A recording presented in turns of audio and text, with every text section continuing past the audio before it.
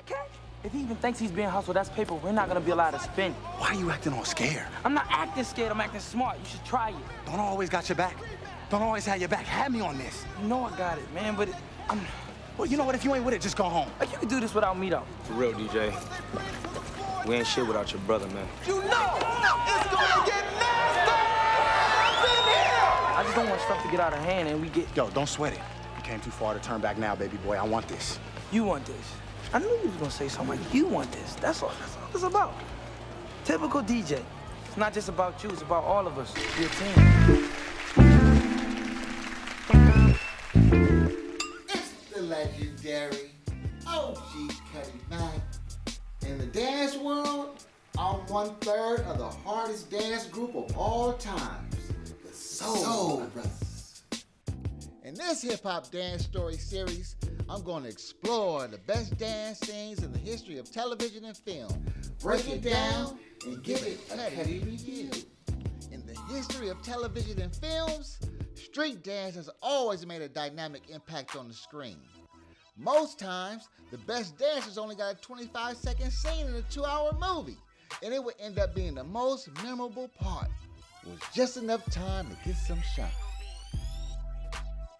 Ooh wee, episode 3, per request by my young OGs. It's Stomp the Yard Battle Scene. Let's not waste no time.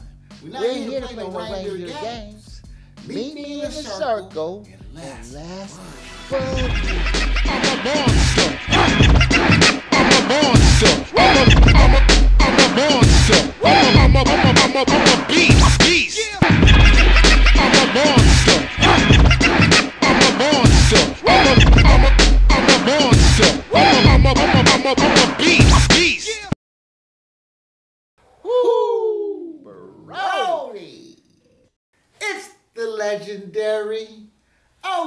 Cutty Mack, episode 3, Just Enough Time to Shine.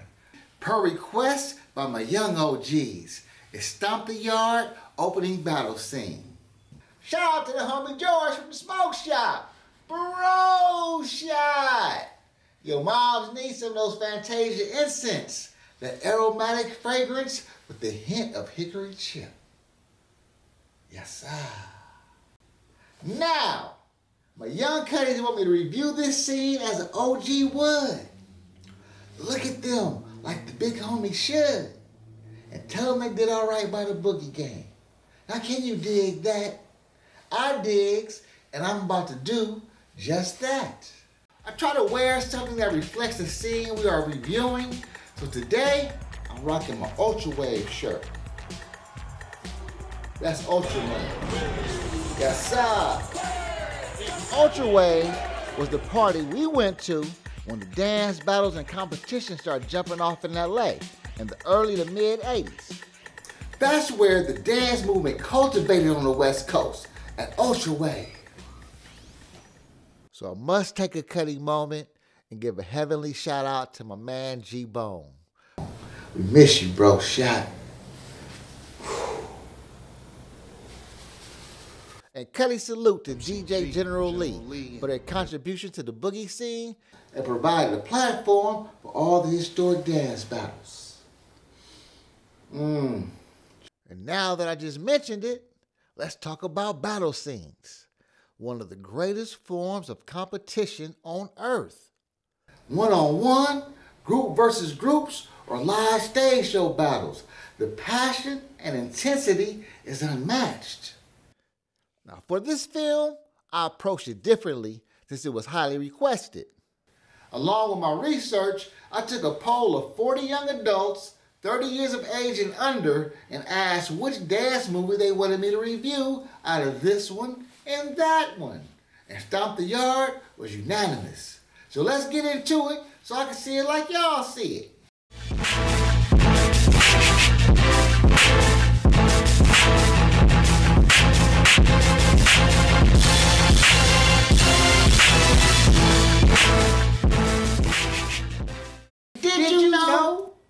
Teen Vogue ranked Stomp the Yard as the 18th greatest dance movie all time? The Insider ranked it 16th all time. It made two top 10s and a few top 30s. Okay. So here's a quick boogie breakdown of the movie before we get in this circle. Movie, Stomp the Yard, release 2007, starring Chris Brown and Tight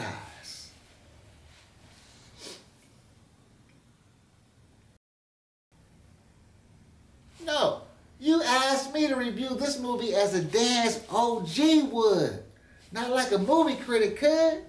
See what you thought this was, Scotty? Yeah, Columbus Short and Meagan Good appeared in the film, but that's not what you came here for. This is the dancers platform. We boogie on this show for real, Jack. We don't act like we boogie. Can you dig that? Yes, sir. We serious about this here, Jack. Whoo, Brody. But just to spray some Krylon paint where it ain't. In this flick, DJ Williams, played by Columbus Short, is a young man from the inner city Los Angeles. He and his younger brother Duron, played by the cold-blooded Chris Brown, compete in local dance competitions as members of a crew known as the Goon Squad. Strike, Strike one. One. See, the Goon Squad. That name sounds tough on the screen. It may look good on paper. But the Goon Squad, that's what they call a special police unit up in jail. They're the ones that toss your cell up and subdue riots. So I gotta take the light off that name. I ain't digging that one. I ain't digging that. So, the battle jumps off, they're back and forth, but in the end of the battle, Goo, Goo I mean, uh, Chris Brown, Chris Brown and them won a cash prize. And Sphere, the leader of the thug unit, goes all in for a double or nothing battle. Double or nothing says you got lucky. Song. DJ accepts to his brother's dismay. Duron knows that the leader of the ops thinks he got bamboozled, hoodwinked, or led astray, his crew won't be able to spend the money they win. So, Chris Brown and them wins the second battle, and the sore losers crew retaliates by putting them things on DJ and his homies after the show. They got the squabbling up in that joint. Sphere, the rival crew leader, start putting a real demo down on DJ. Now you know Duron can't go home and tell his parents he didn't help his brother, so he jumps in and they go at it. So in typical poop butt fashion, dude pulls out the hammer and pops Duron. The. Okay, let's not get it twisted. Chris Brown, without a doubt, is the reason this movie is iconic for that era. He was the hottest up and coming artist at the time, and to actually see him dancing in the battle scene gave him plenty of merit. See, Chris Breezy is serious about his boogie game, Jack. He's definitely cut from that silk cloth that attaches his lineage to the greats. See, I knew he was real when I used to see him at the dance battles after he was already successful, in the circle, giving real street dancers that work. No paparazzi, no yes man putting the batteries on his back. Just breezy going in, giving fools that business. You dig? The breakdown. The only dance dispute I encountered when I did my research on this film was the actual dance scenes didn't leave an impact on the mind or the soul. Now, these are not my words. This is how the young OGs critiqued the movie to me. Number one, after taking a poll and asking them about the most memorable aspect of the film, 40 out of 40, first thing they said, Chris Brown gets shot in the first five minutes. Okay, what about the dance moves? And number two was, and this answer came from all ladies, by the way, was how cute Chris Brown is in the movie. And number three, which I find out now is the most important dance aspect of Stomp the Yard. It was Tight Eyez introducing Krump into the world on the big screen. That is the true impact of this film. Who is this cat? Cesar LaRon Willis, aka Tight Eyez, born January 3rd, 1985, the apostle of krump, dancer, creator, and innovator. I dig this quote right here. Krump is a dance style that was created in the year 2000 as a movement by a couple, but pioneered by a few. Oh. That was deep. It's really not that deep. No, That really wasn't not deep. that deep. Man, that was deep. You don't know what deep is. fool. Now, as you recall, we first got a glimpse of the conception of krump and Rize. Not sure if the word Rize inspired Tight Eyez, but he always wanted to take his movement to a higher level, another plane. So Eyez stayed down for his game until it was time for him to come up. Legend has it, Tight Eyez honed his craft for six full years after the release of Rize. He put his work in the streets, put out countless amounts of footage and DVDs, and established Krump as a mainstay in the street dance landscape. Lay it out, Jack. Mm-hmm. Like all great dancers, Eye's name started ringing in the battle arena. When he battled, he took down all foes. His tale of the tape is impeccable. His fight record states he is undefeated in street battles for over a decade. That makes him the Mayweather krump dance. Nigga, Cutty, salute. That is a fantastic accomplishment. Every great dancer that I know of on record has taken at least one L in their boogie career. So to go undefeated for over 10 years, you putting in that work, Jack. Now, as the elder here, let me address the purple elephant in the room. So please, stop with the BS.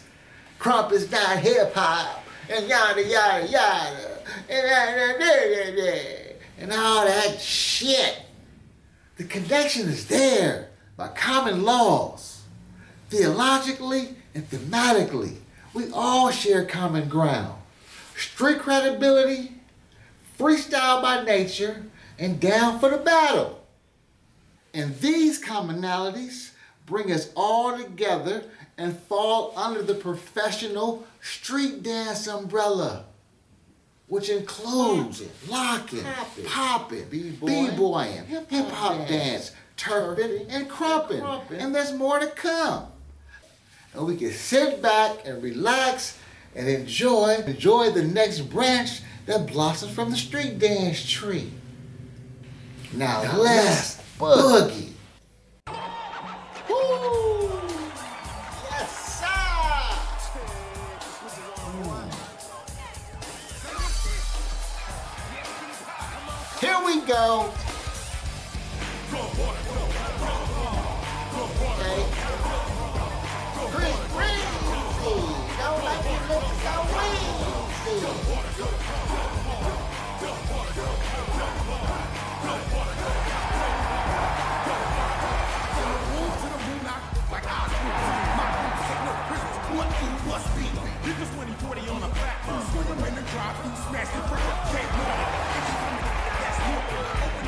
let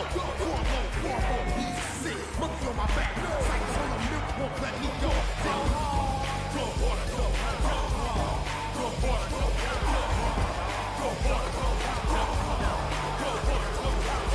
Yeah, I digs that. Mm, I don't dig that.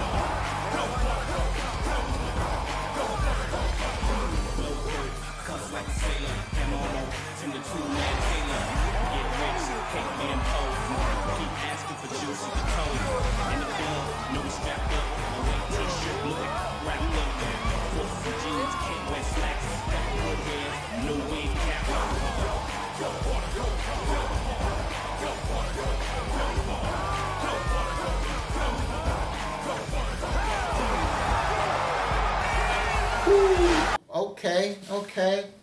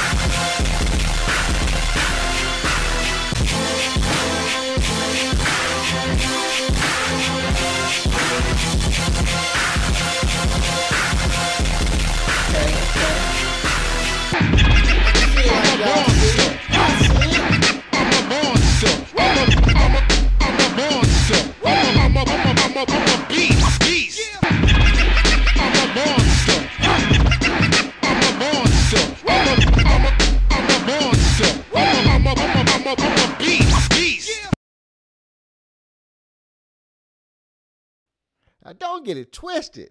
Columbus Short is a great actor, but he acted like he was a street dancer, but not enough to where it was believable.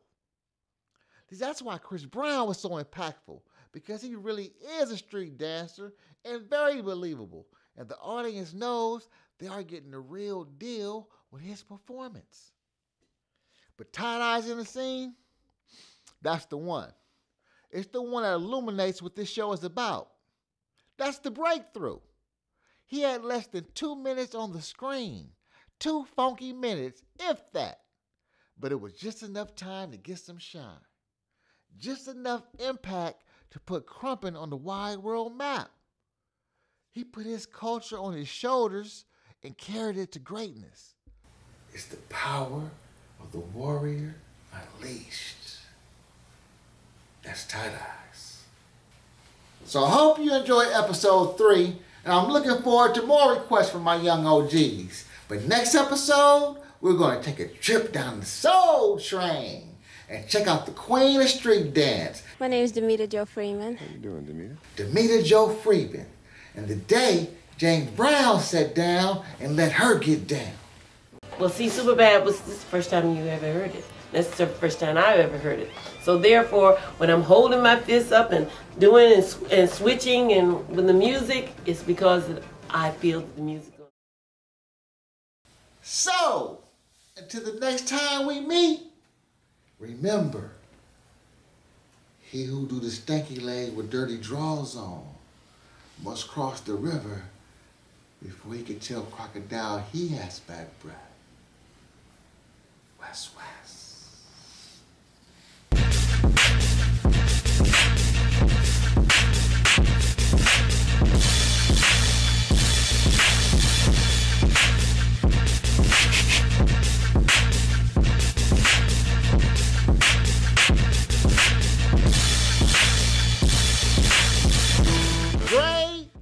I give this joint two cutty fingers and a bat with no lack of tune. For my cool squares out there, that means two and a half out of five.